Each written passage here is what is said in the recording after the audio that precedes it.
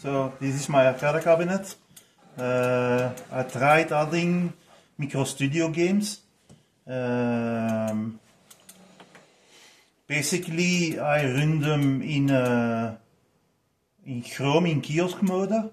I created screenshots for a few example games, and uh, I can launch them from my front end in my arcade. So, for example, Cube and Saw. Let me check if the video was okay. Okay. Let me increase volume. So I can play the games, they play in the browser and I can launch games individually. Uh, I do that by calling the batch, batch file, each ROM is a batch file and I let the emulator basically be a batch file itself that calls the parameter it, it gets passed. Uh, I can exit a game for that I use a, simple tool I created once to quit the active window. Uh, I can try another game. Ah, no audio. I need to create a program to click once on the on the main screen to enable the to enable the audio because Chrome blocks it if the if the window is not active.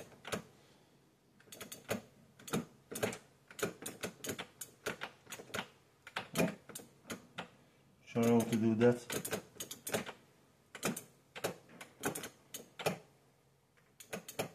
Oh, let's try another game.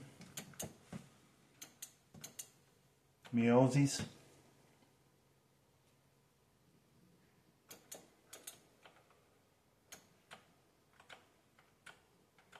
It's a nice little game. Don't think it's audio.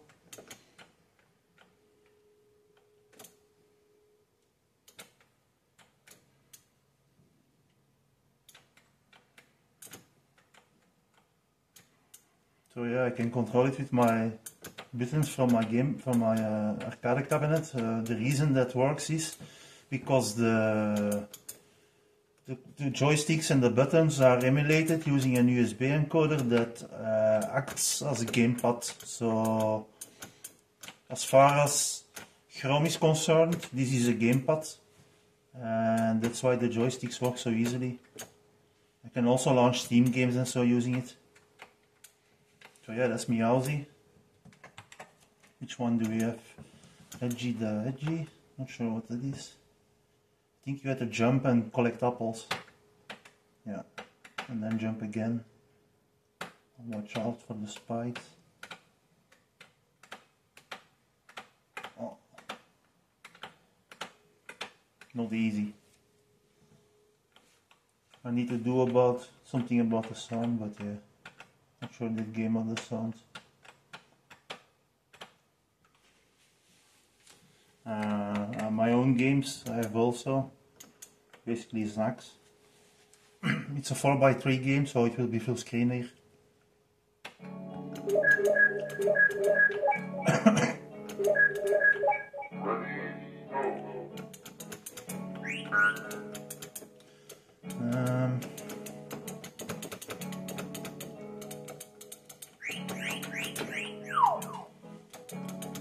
Basically you form rectangles by uh, uh, making the corners of the square you form uh, the same color. It's not so easy always.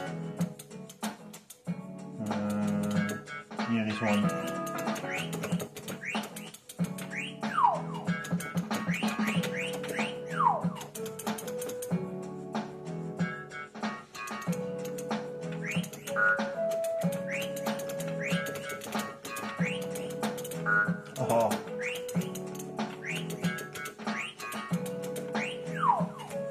So yeah, let's try another game. I saw Cube and Saw. Lemmy Longlegs we didn't try.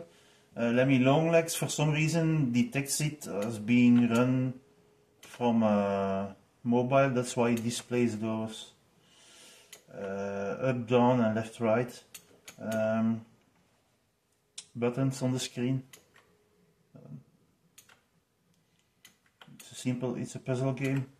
Uh, it can he grows his legs, and you can uh, you need to reach the exit. Not sure what the blue thing is. I think it's a key. Yeah. It's a puzzle game, I think. So it will gradually become more difficult, I guess. Oh.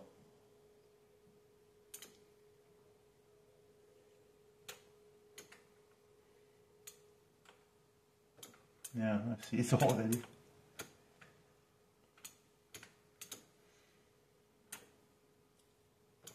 So let me try my block dude game and then I'll finish the video.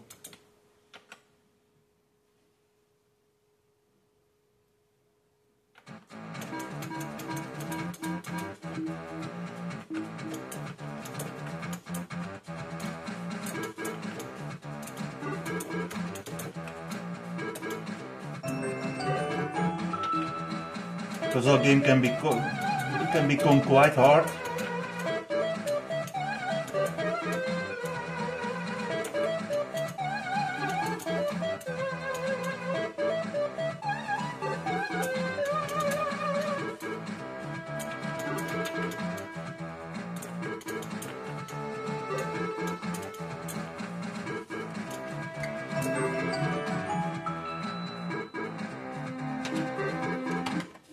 So yeah, uh, it's possible to add these games and you basically let them run in, a, in your Chrome browser in kiosk mode and you specify a separate data directory and you disable the, the sandbox.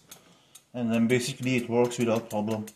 And it will run you do need internet of course uh, unless you have somehow uh, the games published as HTML the, the, the files itself.